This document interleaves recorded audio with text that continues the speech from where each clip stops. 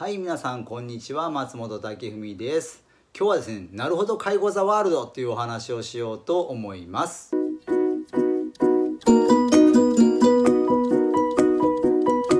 私オンラインサロンをしておりましてまあ、その中でですね、えー、メンバーの皆さんと勉強していきたいなと思ってる中の一つにですね、まあ、世界の介護現場を知ろうっていうことをちょっと考えております。で、この前はですね、スイスの方とつながりました。リッチャー・ミツコさんという方なんですけれども、もともと日本で、えー、看護師をされていて、訪問看護とか、デイサービスの管理者とか、行政職なんかを、えー、たくさん、うん、経験された上で、まあ、スイスでは介護士としてね今働いていらっしゃるという方なんですけれども、えー、まあ、スイスで働いて驚いたって言われてますでそういうことを聞いてですね、えー、どんなことかでちょっとまあ要約させていただこうと思いますけれども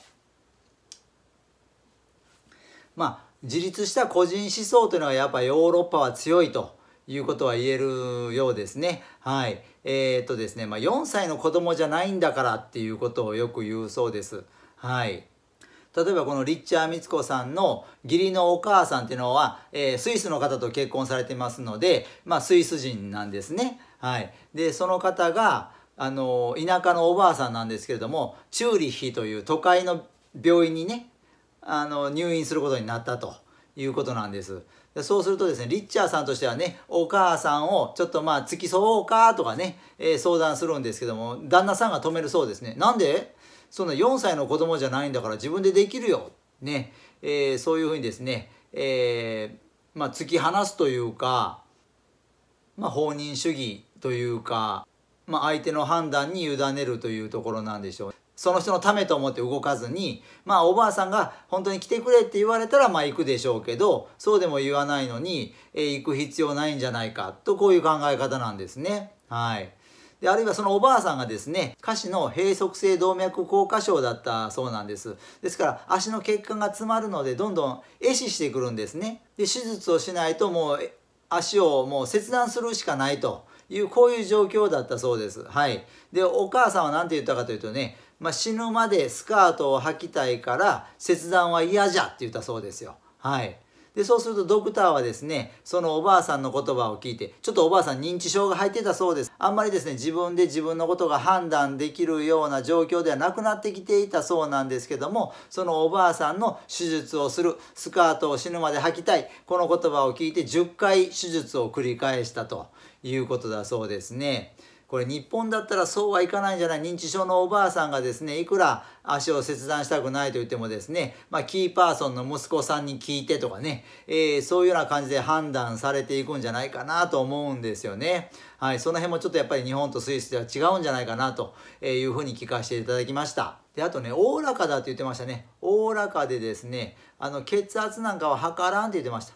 日本の介護現場でですね血圧測りまくりますね。はい。えー、ちょっと具合が悪そうな人をですね、えー、血圧を測ってお風呂に入れていいかどうかね、えー、でリッチャーさん看護師さんされてたのでやっぱり血圧測ろうとされたんですって。そうするとですねなんで測るの？って言われたそうですね顔見てたらわかるじゃないの。食事の様子見てたらわかるじゃないのっていう感じだそうですね。確かにそれで怖いこともあるかもしれないですけども日本のようにその数字を測れば安心数字だけを見てその人の顔色を見てないっていうことがあったらそれはそれで怖いなと思いますので、えー、やはり見習うべき点というのもあるんじゃないかなと思いますね。あとですねあのリッチャーさんもデイサービスにおられて日本のデイサービスなんかでも監視の目がすごいということを言われてましたね。えー、まあ例えば誰かがシュッと立ち上がったら転倒しないかということでみんながわーっと寄ったりとかですねはいするんですけども、えー、スイスではそんなことはないあんまりその人の一つ一つの動作を、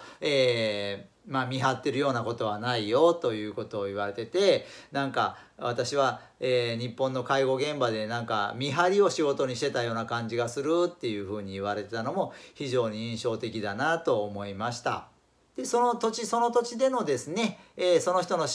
大事に仕方というのがあって、まあ、それでまあ認知症ケアもスイスではやっているよということです。はいえー、隣がねフランスなんですね。でフランスには有名な認知症ケアがあるじゃないですか。ユマニチュードというのがね。でリッチャーさんも日本にいる時はそれをすごい知ってたそうですけれどもよくユマニチュードっていうのを聞いてたそうなんですけれども、えー、スイスにいてからはね一切聞かないそうです。地図を見てください。スイスとフランスで隣同士なんですよ。だからリチャーさんはそんなにええもんだったら隣にすぐ入ってくるはずなのにおかしいなと思っているそうですね。でやっぱりその土地その土地での人の大切に仕方っていうことで、えー、認知症ケアをしていけばいいのになということですね。日本は何であんなに流行ってんの？ユマニチュードがっていうことを言われていますね。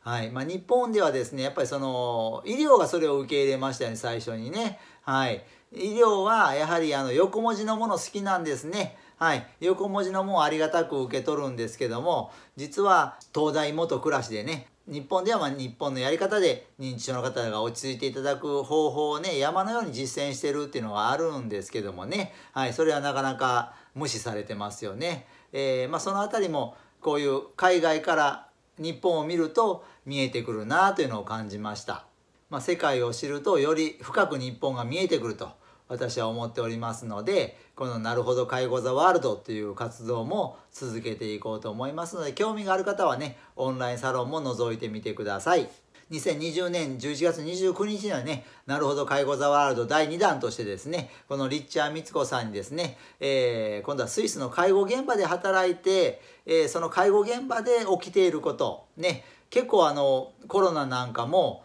たくさん出ているそうですのでそれの対応策だったりとか、えー、そういったことでまた日本のとの違いについてね学んでみたいなと思っております。はい、えー、ぜひなるほど介護ザワールド興味がある方は覗いてみてください。今日は以上です。ありがとうございました。さようなら。チャンネル登録もよろしくお願いします。